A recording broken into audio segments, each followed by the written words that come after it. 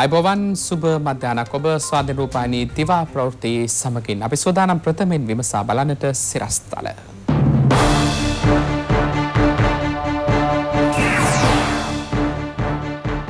අර්ජුන් මහින්ද්‍රන් හර්ජාන් ඇලෙක්සැන්ඩවේ. පාතාලේ මෙහියුම් බන්ධනාකාරයෙන් වෙන හැටි. බන්ධනාගාර දෙපාර්තමේන්තුවේ යම් කිසි නිලධාරී කොට්ටාසයගේ උදව්වෙන් තමයි මේක යන්නේ. වැලිසර නාවික හමුදා කඳවුර යළි විවෘත කිරීමේ සූදානමක්. කතෝලික සංනිවේදනයටත් සිනමාවටත් අනූපමේය සේවයක් කළ අර්නස්ට් පෝරුතොට පියනම ස්වර්ගස්ත වෙයි. වර්ගවාදය හා පොලිස් ප්‍රචන්ඩත්වය ගැන ජගත් මානව හිමිකම් මණ්ඩලයේදී හදිසි විවාදයක්.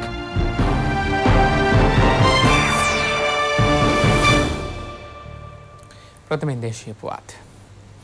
මහබැංකු බැඳුම්කර වංචා නඩුවේ පළමු විත්තිකරු හිටපු මහබැංකු අධිපති අර්ජුන් මහින්ද්‍රන් ඔහුගේ නම වෙනස් කරගෙන තිබෙනවා. ආර්චාන් ඇලෙක්සන්ඩ යනුවෙන් ඔහු සිය නම වෙනස් කරගෙන තිබෙන බවද ජාත්‍යන්තර පොලිසිය මගින් වාර්තා කර ඇති බවයි නීතිපතිවරයා කොළඹ ත්‍රිපුද්ගල විශේෂ මහාධිකරණයට තැනුම් දුන්නේ. මේ රටේ විශාලතම මූල්‍ය වංචාව වන මහ බැංකු බැඳුම්කර සිද්ධිය පිළිබඳ නඩුව කොළඹ ත්‍රිපුද්ගල විශේෂ මහාධිකරණීය හමුවේ අද යලි කැඳවූවා. එහිදී නීතිපතිවරයා වෙනුවෙන් පෙනී සිටි නියෝජ්‍ය සොලිසිටර් ජෙනරාල් පාරින්දු රණසිංහ මහතා කියා සිටියේ අර්ජුන් මහීන්ද්‍රන් ඔහුගේ නම හර්ජාන් ඇලෙක්සැන්ඩර් ලෙස වෙනස් කරගෙන ඇති බවට ජාත්‍යන්තර පොලිසිය මගින් වාර්තා කර ඇති බවයි. කෙසේ වෙතත් අධිකරණයේ මගහැර සිටින අර්ජුන් මහීන්ද්‍රන් ශ්‍රී ලංකාවට ගෙන්වා ගැනීම සඳහා ආරම්භ කර තිබෙන උදර්පණ නීති ක්‍රියාදාමය තුළ සංශෝධන සිදු කිරීමට අවශ්‍ය නොවන බව සිංගප්පූරු නීති දෙපාර්තමේන්තුව දැනුම් දී ඇති බවද ඒ මහතා පැවසුවා. ඊට අදාළව මෙම නඩුව තුළද සංශෝධනයක් සිදු කිරීමට අවශ්‍ය නම් ඒ පිළිබඳ ඉදිරියේදී කරුණු දැක්වීමට අපේක්ෂා කරන බවයි නියෝජ්‍ය සොලිසිටර් ජෙනරාල්වරයා කියා සිටියේ. මේ අතර මෙම නඩුවේ දසවන විත්තිකරු වන අජහාන් ගාර්දිය පුංචි හේවා නැමැත්තාද සිංගප්පූරුවේ වාසය කරන බව ඔහු පැවසුවා. ඒ අනුව ඔහුට අධිකරණය හමුවේ පෙනී සිටින ලෙස යලි සිතාසි නිකුත් කෙරුණා. මෙම නඩුව නොවැම්බර් 17 වනදා යලි කැඳවීමට නියමිතයි. පාතාලය හා සම්බන්ධ සියලු සිදුවීම් මෙහෙවන්නේ බන්ධනාකාරය තුළ සිට බව ආරක්ෂක ලේකම් විශ්‍රාමික මේජර් ජෙනරාල් කමල් ගුණරත්න මහතා පවසනවා. බන්ධනාකාරය තුළ සිටින දූෂිත නිලධාරීන්ගේ සහායද ඊට ලැබෙන බවයි ආරක්ෂක අමාත්‍යාංශයේ පැවති මාධ්‍ය හමුවේදී ඒ මහතා වැඩි දුරටත් කියා සිටියේ. කියන්න කනගාටුයි මිත්‍රවරුණි මේ සම්පූර්ණ පාතාලයට සම්බන්ධ ක්‍රියාකාරකම් සංවිධානාත්මක අපරාධ මද්‍රව්‍ය ජාවාරං සහ කප්පම් ගැනීම මේ සියල්ලක්ම ක්‍රියාත්මක වෙන්නේ බන්ධනාගාරය ඇතුළේ ඉඳන්. එහෙමනම් බන්ධනාගාරයේ ඇතුළේ ඉඳන් කොහොමද ක්‍රියාත්මක වෙන්නේ කියන එක තමුන්නාන්සේලාට ලොකු ප්‍රශ්නයක් වෙන්න පුළුවන්. ඉතින් ඒ නිසා තමයි ඒවා සම්බන්ධයෙන් සම්පූර්ණයෙන් අධ්‍යයනය කළා මේ සම්පූර්ණ ක්‍රියාවලියම මේ වගේ වැරදි වැඩ වලට නායකත්වය මේ බන්ධනාගාර වලින් ඇති කිරීම බන්ධනාගාරවල තුල ඉඳන් පාතාල රන් කිරීම කුඩු වෙළඳාම රන් කිරීම ඒ වගේ දේවල් නැති කරන්න තමයි නැති කිරීම සඳහා අවශ්‍ය යාන්ත්‍රණය සකස් කරලා අපේ රටේ හැම කෙනෙකුටම සාමයෙන් සතුටෙන් නිදහසේ ගෞරවාන්විතව ජීවත් වෙන්න පුළුවන් සමාජයක් ඇති කිරීම සඳහා තමයි ඒ කාර්ය සාධක බලකාය පත් කළේ. STF එක බන්ධනාගාරයේ ඇතුලේ රාජකාරී කරන්නේ STF කරන්නේ එළිය රාජකාරී. ඉතින් මෙතනදී බන්ධනාගාරය ඇතුලේ ටෙලිෆෝන් තියෙනවා. ටෙලිෆෝන් කෝල් වදිනවා අපේ ටෙක්නිකල් ඉක්විප්මන්ට් වලට වදිනවා ඇතුලෙන් කෝල් ගන්න ඒවා. ඉතින් එතකොට බන්ධනාගාර දෙපාර්තමේන්තුවේ යම්කිසි නිලධාරී කොට්ටාසයකගේ උදව්වෙන් තමයි මේක යන්නේ. මම කිව්වා හොඳ නිලධාරීන් ඉන්නවා නරක නැත්තම් දූෂිත නිලධාරීන් ඉන්නවා. ඉතින් දූෂිත නිලධාරීන් කියන කට්ටිය ඔය ඕනේ ආයතනයක ඉන්නවා. ඒ අයගේ මාර්ගයෙන් සහ වෙනත් ක්‍රමවේද වලින් තමයි බන්ධනාගාරය ඇතුළට මේවා ගියේ. නමුත් මේක හඳුනාගත්ත ගමන් අගුණගොල පැලැස්සේ බන්ධනාගාරයට බූස්ස බන්ධනාගාරයට පුද්ගලයන් ස්කෑන් කරන්න පුළුවන් ස්කෑනර් දෙකක් ඔය බන්ධනාගාර දෙකටම දුන්නා. මෙහිදී අදහස් දැක්වූ නියෝජ්‍ය පොලිස්පති අජිත් රෝහණ මහතා කියා සිටි මත්ද්‍රව්‍ය වැරදි සම්බන්ධයෙන් දැනට පවතින නීති හා බන්ධනාගාර ආඥා පනත සංශෝධනය කිරීමට ඉදිරිදී කටයුතු කරන බවයි. මේ මාස හතකට ආසන්න කාලය තුළ ගංජා සහ කුඩුවලට අදාළ සැකකරුවන් 44000ක් විතර අත්අඩංගුවට අරන් තිනවා. හෙරොයින් සහ ගංජා 8000කට ආසන්න ප්‍රමාණයක් වෙනවා කිලෝග්‍රෑම්. දැන් මේ ඉන්න සැකකරුව බන්ධනාගාරයට යනවා. අපි හැමෝම දන්නවා මේ බන්ධනාගාරය තුල ඉඳලා තමයි මේ අපරාධ සිදුුනේ. මේ අපේ රටේ මද්‍රව්‍ය පිළිබඳ නීතිය තියෙන්නේ 1929 බ්‍රතාන්‍ය අධිරාජ්‍යවාදීන් අඳුනලා දීපු ආඥා පනතේ. අපේ රටේ අපරාධ නීතියට අමතරව යම්කිසි කෙනෙකුට මරණ දඬුවම නියම කරන්න පුළුවන් නම් වෙනත් පනතකින් ඒ එකම පනත තමයි මේ 1984 මේ පනතට ගෙනාපු සංශෝධනය. එහිත් අපි තවත් සංශෝධන කිහිපයක් කඩිනමින් කරන්න නීතියට බලාපොරොත්තු වෙනවා. බන්ධනාගාර ආඥා පනත ඒ එයත් අධිකරණ අමාත්‍යාංශයේ ලේකම්තුමියත් ආරක්ෂක ලේකම්තුමත් උපදෙස් දීලා යම් කමිටුවක් පත් කරා මේ ආඥා පනතට අනුව යම් යම් රෙගුලාසි හදන්න. බන්ධනාගාරයේ ඉන්න සිරකරුවෙක් සැකකරුවෙක් නැරඹීමට යාම පිළිබඳ ක්‍රමවේදය යථාවත් කරන්න බන්ධනාගාර ආඥා පනතට රෙගුලාසියක් ගෙනීමට අපි කටයුතු සූදානම් කරමින් පවතිනවා. සෞඛ්‍ය අංශ උපදෙස් මත වැලිසර නාවික හමුදා කඳවුර විවෘත කිරීමට බලාපොරොත්තු වන බව ආරක්ෂක අංශ පවසනවා. කොරෝනා ආසාදනය වී සිටි නාවික හමුදා සමාජිකින් විශාල පිරිසක් පූර්ණ සුවය ලබා ඇති බවයි නාවික හමුදාව පවසන්නේ.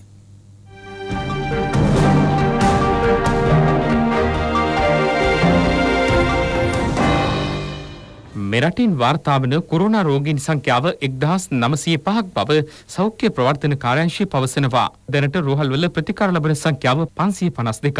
කොරුණා භවතය සැක සහිතව හතලිස් හයදෙනෙකු වෛද්‍ය අධීක්ෂණයර්ථය ප්‍රතිකාර ලබනවා. කොරුණා ආසාධනය වී සිටි නාවික හමුදා සමාජිකින් හත්සිය තිස් හතර දෙනෙකු මෙවැනි විට පූර්ණ සුවේ ලබා තිබෙනවා.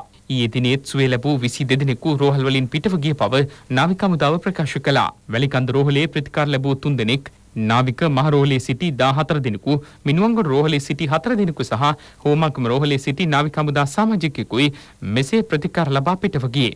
ඒ අනුව සෞඛ්‍ය අංශ උපදෙස් මත නුදුරු දිනයකදීම වැලිසර නාවික හමුදා කඳවුර විවෘත කිරීමට බලාපොරොත්තු වන බව ආරක්ෂක ලේකම් විශ්‍රාමික මේජර් ජෙනරාල් කමල් ගුණරත්න මහතා ප්‍රකාශ කළා. කොරෝනා වසංගතය පාලනය වෙනුවෙන් සෞඛ්‍යංශය ලබා දී ඇති උපදෙස් ජනතාව පිළිපැදීම හේතුවෙන් රෝග පාලනයේ ශීඝ්‍ර වර්ධනයක් පවතින බව යුද හමුදාපති ලුතනන් ජෙනරාල් ශවෙන්ද්‍ර සිල්වා මහතා පවසනවා. අප්‍රේල් 30 වෙනිදාන් පස්සේ සමාජයෙන් අපි කිසිදු පුද්ගලයෙක් සොයාගනු ලබන්නේ නැහැ. නමුත් අපි සොයාගන්නේ නාවික හමුදාවේ අපගේ විරෝධාර රණවිරුවන් ඒ වගේම අනිකුත් කණ්ඩායම ඇවිල්ලා පිට රටවල වලින් එන කණ්ඩායම්. පුතුමාගේ පස්සේ තිබ්බේ විශේෂයෙන්ම පිට රටවල වලින් එන කට්ටිය කොහොමද සමාජයට ආවන් පස්සේ සමාජය තුල මේ පැතිරී යාමේ අවදානමක් තියනවා කියන එක.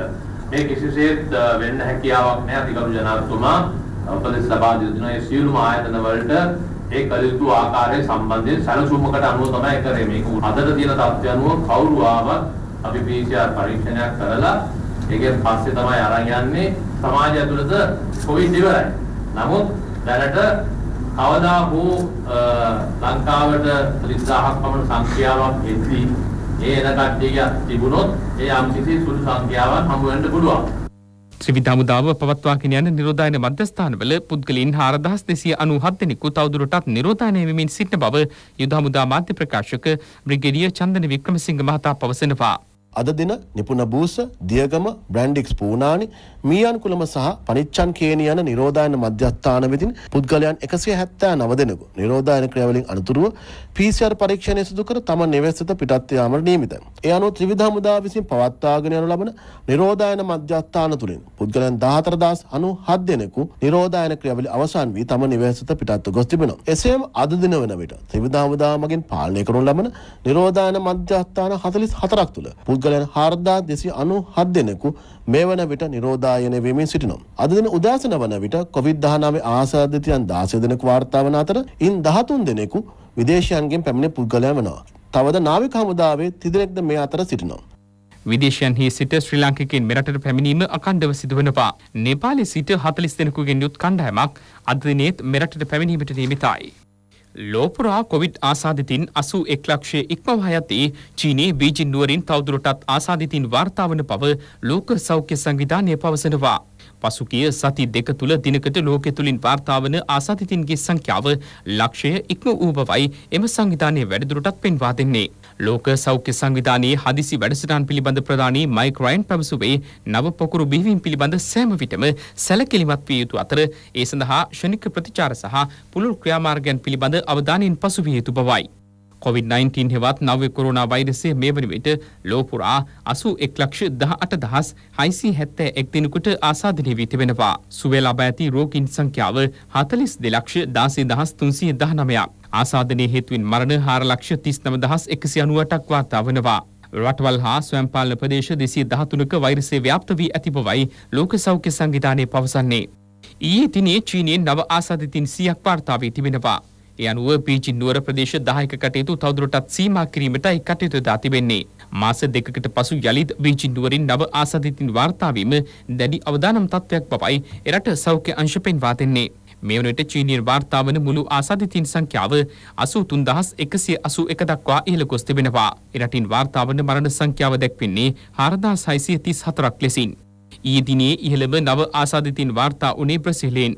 එම සංඛ්‍යාව දැක්වෙන්නේ 23674ක් ලෙසයි. වැඩිම ආසාදිතින් වාර්තාවන රටවල් ලයිස්තුවේ දෙවන ස්ථානයට පත්ව ඇති බ්‍රසීලය රෝග පාලනය සහ සෞඛ්‍ය ආරක්ෂණ ක්‍රමවේද නිසි ලෙස ක්‍රියාත්මක නොකරන බවට චෝදනා කරමින් දියත් කළ විරෝධතා තවදුරටත් පැවැත්වෙනවා. ගත වූ පැය විසි හතර තුළ අමරිකාවෙන් නව ආසාධිතින් විසිදහස් හත්සේ හැත්තෑ දෙකක් සොයාගෙනුණා. එය අනුව ඇමරිකාවෙන් වාර්තාවන මුළු ආසාධිතින් සංඛ්‍යාව විසි එක් ලක්ෂ අසූ දෙදහස් නම්සේ පනාක් වන අතර සමස්ත මරණ සංඛ්‍යාව එක් ලක්ෂ දහ අට දහස් දෙසිය අනුතුනක්. කොවිඩ් වසංගතය දැඩි අවධානමකට ලක්ව තිබෙන පසුබිමක වුවද ආර්ථිකය ශක්තිමත් කිරීම තම රජයේ ප්‍රමුඛතාවයන්ගෙන් එකක් බව ඉන්දියා ග්‍රාමාත්‍ය නරින්ද්‍ර මෝදි මහතා පවසනවා. මූඩීස් ඉන්වෙස්ට්මන්ට් ණය ශ්‍රේණිගත කිරීම පිළිබඳ ආයතනය ඉන්දියාවේ ණය ශ්‍රේණිගත කිරීම තුළ පහත් තලයකට පැමිණීම සම්බන්ධයෙන් ප්‍රකාශයට පත් කිරීමත් සමගයි ඉන්දියා ග්‍රාමාත්‍යවරයා මෙම ප්‍රකාශය සිදු කර තිබෙන්නේ. දිල්ලි නුවරින් වාර්තා වන ආසාදිතින්ගේ සංඛ්‍යාව දිනින් දින ඉහළ යාම හේතුවෙන් දිල්ලි නුවරට පිවිසෙන දේශ සීමා වසා දැමීමට කටයුතු කර ඇති බවද වාර්තා වනවා. ආසාදිතින් ඉහළ යාමත් සමග රෝහල් පත්ව ඇති අර්බුදයේ සැලකිල්ලට ගනිමින් දුම්රිය මැදිරි 500ක් කොවිඩ් රෝහල් බවට පත් කිරීමට කටයුතු ද ඇති බව වාර්තා වනවා.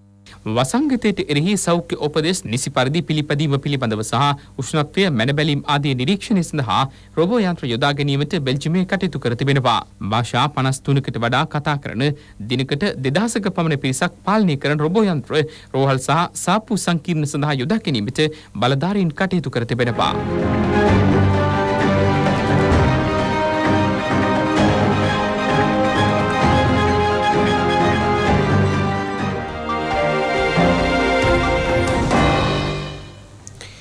ඇදිරි නීතිය සමයේ අත්අඩංගුවටගත් වාහන අයිතිකරුවන්ට භාරදීමට පියවරගෙන තිබෙනවා.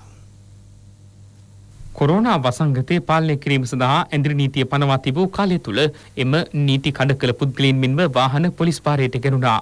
එම වාහන අයිතිකරුවන්ට භාරදීමට පියවර ගන්නා ලෙස රජයේ වැඩබලන පොලිස්පති සීටි වික්‍රමසිංහ මහතාට උපදෙස් ලබා දී තිබෙනවා. ඇදිරි නීතිය උල්ලංඝනය කිරීම සම්බන්ධයෙන් පුද්ගලයින් 71886 දෙනෙකු අත්අඩංගුවට ගත්තා. පොලිස් භාරයට ගෙනුණු වාහන සංඛ්‍යාව දහ අට දහස් පන්සී හතක්. නඩු පැවරීමෙන් පසු සහ අත්තරංගුටගෙන සතියක කාලයක් ඉක්මවා යමින් පසු අතිකරුවන්ට බාර නොදුන් වාහන දෙදහසකට ආසන්න ප්‍රමාණයක් අද දිනේ බාරදීමට නිමිත බවයි පොලිසිය ප්‍රකාශ කළේ. පාසල් යළි විවෘත කිරීමෙන් පසු ප්‍රවාහන සේවා ක්‍රියාත්මක කිරීම පිළිබඳ විශේෂ සාකච්ඡාවක් අද පැවැත්වෙනවා. පොදු ප්‍රවාහන සේවා මෙන්ම පාසල් සිසු ප්‍රවාහන සේවා සෞඛ්‍ය උපදෙස් අනුව ක්‍රියාත්මක කළ යුතුයි. ඒ පිළිබඳ විශේෂ අවධානය යොමු කරමින් මෙම සාකච්ඡාව පැවැත්වෙන්නේ මහින්ද අමරවීර හා ඩලස් අලාපරිම යන අමාත්‍යරුන්ගේ ප්‍රධානත්වයෙන්. පාසල් ආරම්භ කිරීමත් සමග කාර්යාල වේලාවන් හා පාසල් ආරම්භ වන වේලාවන් අතරද දුරස්ථ භාවයක් පවත්වාගෙන යාම සම්බන්ධයෙන් අවධානය යොමුව තිබෙනවා. මාර්ග තදබදයේද අවම කර ගැනීම අරමුණක් බැවින් ප්‍රවාහන සේවා අමාත්‍යංශය මේ වන විටත් වැඩපිළිවෙල කිහිපයක් ආරම්භ කර තිබෙනවා. ලාංකය සිනමාවට මෙන්ම කතෝලික ජන සංනිවේදන ක්ෂේත්‍රයේ උන්නතියට මහඟු මෙහෙවරක් කළ ගරු අර්නස්ට් ෆෝරතොට පියතුමා ස්වර්ගස්ත වුණා. උන්වහන්සේ ස්වර්ගස්ත වන විට අසූ නම්වන වියෙහි පසු වුණා. එක්දහස් නවසය තිස් එක වසරේ අගෝස්තු තිස් එක් වනදා මාරවිල පෝරුතුට කරදිය ගම්මානයේදී උපත ලැබූ පෝරුතුටගේ රේමන්ඩ් අර්නස්ට් ඇලෙක්සන්ඩර් ප්‍රනාන්දු හෙවත් අර්නස්ට් පෝරුතුට පියතුමා පූජාත්වයට පත්වන්නේ එක්දහස් නමසය පනස් හත වසරේදී. ඒ කොළඹ කොටහේන ශාන්ත ලුසියා ආසන දෙව්මැදුරේදී. සිංහල සිනමාවට සහ කතෝලික සභාවට සිංහලකම ගෙන ආ පියතුමා ලෙස උන්වහන්සේ කා අතරත් ගෞරවාදරයට පත් වුණා. ක්‍රිස්තියානි චාරිත්‍ර දේශීයකරණයට ලක්කිරීමේ යෝජනාවට අනුව තෙල් මල් පුන් කලස් ගොක්කොල තොරන් දේවස්ථානයට ගෙනීමට අර්නස්ට් පියතුමා ප්‍රමුඛත්වය ගත්තා.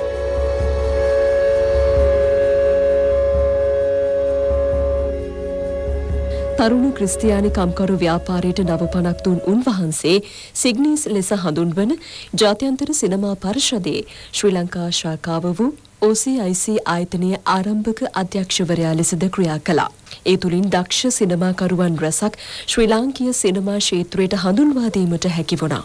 මෙරට සිනමා කෘති රසක් ජාත්‍යන්තර සිනමා උළෙල නියෝජනය වෙනුවෙන් ඉදිරිපත් කිරීමට හැකි වුණේ පෝරුතොට පියතුමාගේ මැදිහත් වීමෙන්. උන්වහන්සේ කිතුණු පෙරලිය සහ ගිහියා ඇතුළු කෘති රසක් රචනා කර තිබෙනවා.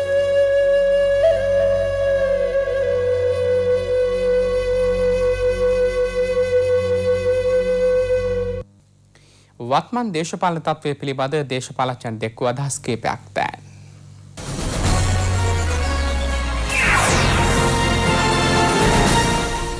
සමගි ජනබලවේගේ අපි දුරකථන සලකුණේ අපි අලුත් බලාපොරොත්තුවක් මේ ලබා දෙන්නේ. සත්‍යවාදී වැඩ පිළිවෙලක්.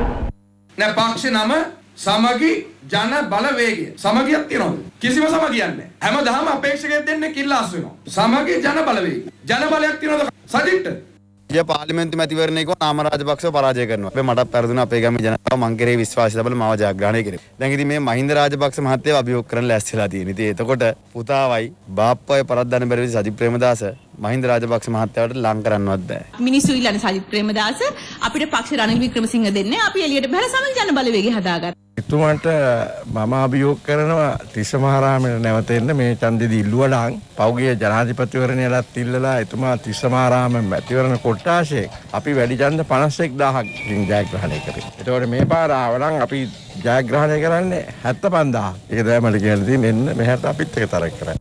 අලිය තමයි පරණම දේශපාලන පක්ෂ. ඔය ඉන්න දෙදරලා ගිය මිනිස්සුන්ගේ ආගියතන් නැතුව ගිය අපි ඉතිහාස දකින්නවා එක්සත් ජාතික පක්ෂයට පිටුපාලා ගිහිල්ලා වෙනත් පක්ෂ හදලා අමාරු වැඩිලා නැති බංගස්ථාන වුණ අවස්ථාවල් තියෙනවා දන්නව නේද? ඉතින් ඒ වගේ මම දන්නේ නැහැ මේ ගිය අයටත් ඒ වෙනි කල උදව් වෙයිද කියලා. හිතන්න 16 වෙනිදා නොවැම්බර් මාසේ ගෝඨාභය මහත්තයා පැරදිලා සජිත් මැතිතුමා දිනුවනම් සංසන්දනය කළ බලන්න. පපුවෙන් අහන්න රට තියෙන තැන මොකක්ද? අද මේ රට සුරක්ෂිත දේශයක් බවට පත් වෙලා තියෙන්නේ අපි නොවැම්බර් 16 වෙනිදා වැදගත් තීන්දුවක් ගත්තු නිසා. ස්වාධීන රූපවාහිනී දිවා ප්‍රවෘත්ති අදට අවසන්. ඔබට සුබ දවසක්.